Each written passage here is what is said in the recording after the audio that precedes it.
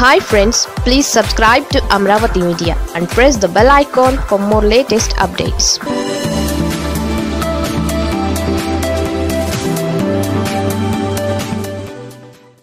పవన్ను బీజేపీతో విడదీయడానికి చంద్రబాబు లీకుల పన్నాగం. తెలుగుదేశం పార్టీ అధినేత చంద్రబాబు నాయుడు వచ్చే ఎన్నికల నాటికి పవన్ కళ్యాణ్తో తిరిగి జట్టు కట్టి బరిలో దిగాలని ఉవ్విళ్ళూరుతున్నారా?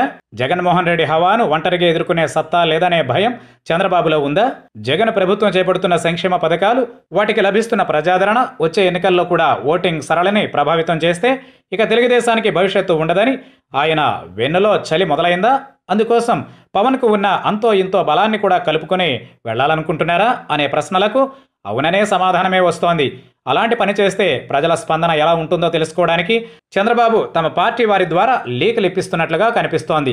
తెలుగుదేశం పార్టీ పాలిట్ బ్యూరో సభ్యుడు శాసనమండలి మాజీ చైర్మన్ అహ్మద్ షరీఫ్ తాజాగా ఒక మాట అన్నారు. వచ్చే రెండు వేల ఇరవై నాలుగు ఎన్నికల నాటికి తెలుగుదేశం జనసేన రెండు పార్టీలు కలిసి పోటీ చేయబోతున్నాయని అన్నారు. ఆయన ఇచ్చిన లీకుల్లో ఇంకో కీలకమైన విషయం కూడా ఉంది. ఈ రెండు పార్టీలతో పాటు అదే జట్టులో వామపక్షాలు కూడా ఉంటాయట. అందరూ కలిసి వైఎస్ జగన్మోహన్ రెడ్డిని ఓడించడం ఒక్కటే లక్ష్యంగా ఎన్నికల బరిలో దిగుతారట. మండలి మాజీ చైర్మన్ షరీఫ్ మాటల్ని పట్టించుకోకుండా వదిలేయడానికి వీల్లేదు. ఎందుకంటే ఆయన పాలిట్ బ్యూరో సభ్యుడు.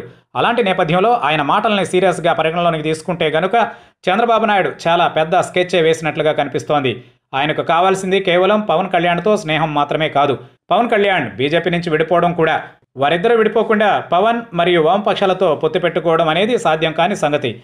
వైఎస్ఆర్ కాంగ్రెస్ నాయకులు తొలి నుంచి కూడా చంద్రబాబు పవన్ కళ్యాణ్ మధ్య అనుబంధం గురించి అనుమానాలు వ్యక్తం చేస్తూనే ఉన్నారు. ఇద్దరి మధ్య లోపాయకారి ఒప్పందం ఉన్నదని పైకి మాత్రమే వారు వైరు పక్షాల్లాగా నటిస్తున్నారని వారంటూ వస్తున్నారు. ఇప్పుడు షరీఫ్ మాటలను గమనిస్తే అదంతా నిజమే అని తెలిసిపోతోంది. షరీఫ్ ద్వారా లీకులు ఇప్పించి ప్రజల స్పందన ఎలా ఉంటుందో గుర్తించిన తరువాత దానిని బట్టి చంద్రబాబు నాయుడు మళ్ళీ పావులు కదుపుతారని అర్థమవుతోంది.